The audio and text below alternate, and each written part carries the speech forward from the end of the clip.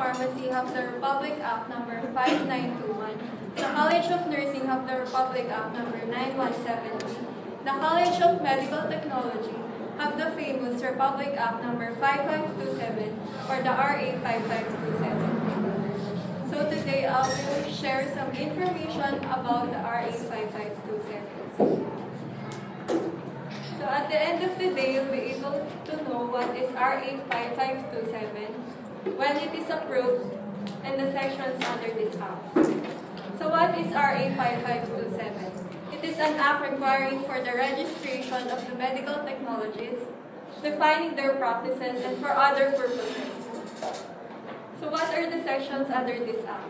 For the section 1, we have the title, which is the Philippine Medical Technology Act of 1969.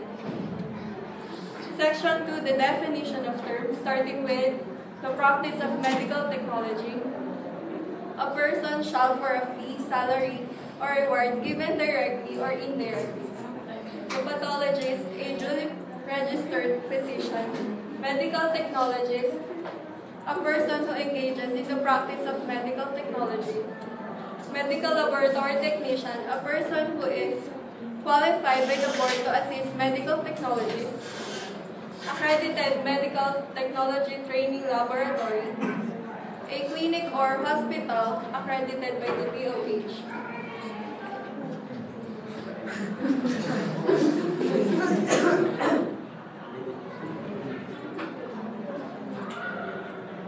Recognized School of Medical Technology.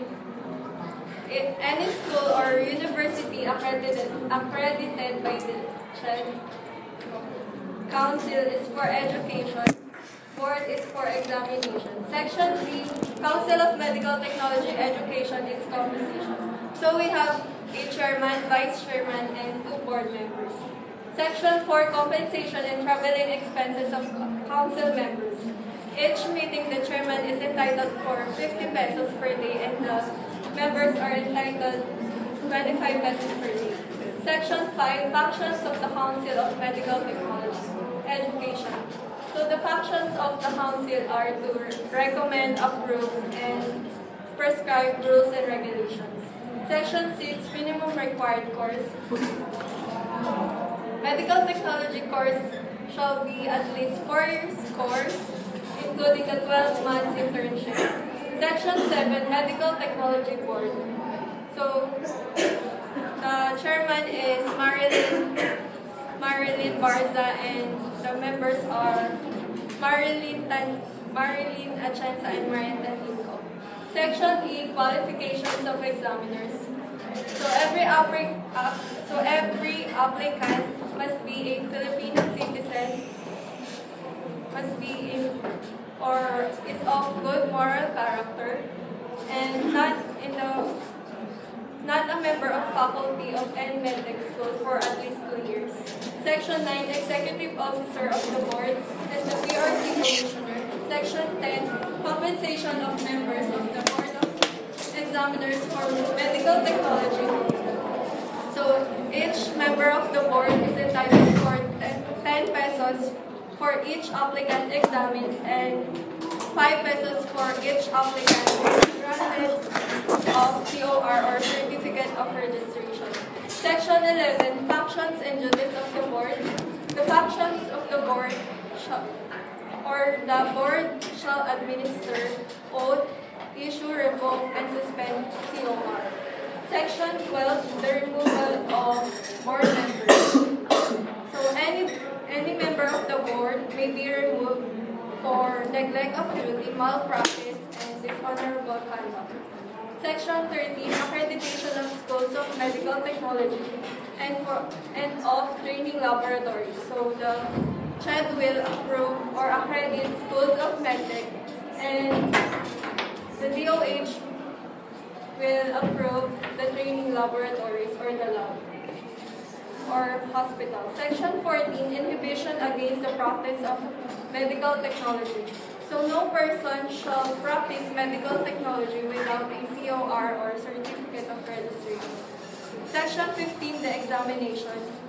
So the examination fee is 900 pesos and the exam or the board exam for medlex is usually conducted during March, September, and August, and also the testing areas are in Manila, Cebu, Davao, and Baguio.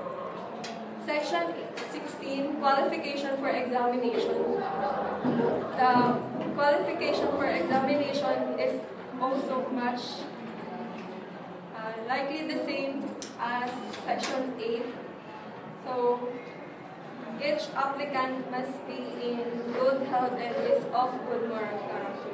Section 17, scope of examination. So the coverage of the examination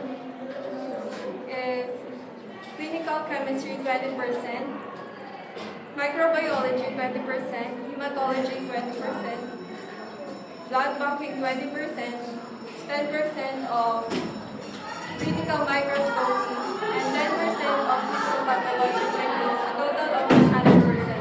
Section 18, report of rating. 120 days after the examination, the board will submit the result to the Commissioner of Civil Service. Section 19, rating in the examination. So every applicant must obtain at least 75% of the general average and no rating below 50% of the major subjects. Section 20, the oath taking.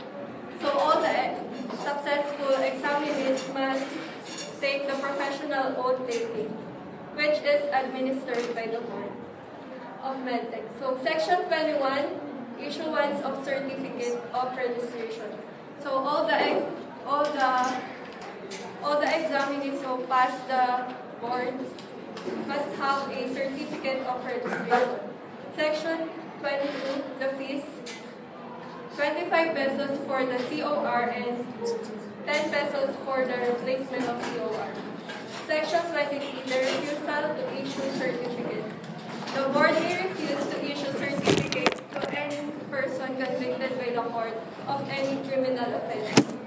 Section 24, administrative investigation, revocation or suspension of certificates. The administrative investigation shall be conducted by at least two members of the board and a legal officer. Section 25, appeal. So, revocation and suspension of certificates made by the board must be subject to appeal to the Commission of Civil Service. Section 26, reinstatement, reissue, or replacement of certificate. The board may reissue, replace, or the board may reissue or replace any revoked certificate of registration. Section 27, foreign reciprocity. No foreigner shall be given an exam, COR, or be entitled to any of the rights under this act. Section 28, roster of medical technologies. The roster of medical technologies shall be prepared annually by the Secretary of the Board. Section 29, penal provisions. Any illegal practice of medicine shall be punished by a fine for, for at least 2,000 or more than 5,000 pesos or imprisonment for at least 6 months or more than 2 years or both. Section 30, the separability clause. All acts, rules, and regulations with, without, with the provision of a person to a person is declared invalid by a competent, competent of jurisdiction. Section 31, repealing clause. All acts, rules, and regulations hereby repealed, repealed provided that nothing in this shall be construed. Section 32, effectivity. This act may take effect upon approval. So it is approved on June 21, 1969. Thank you for listening and I hope you learned.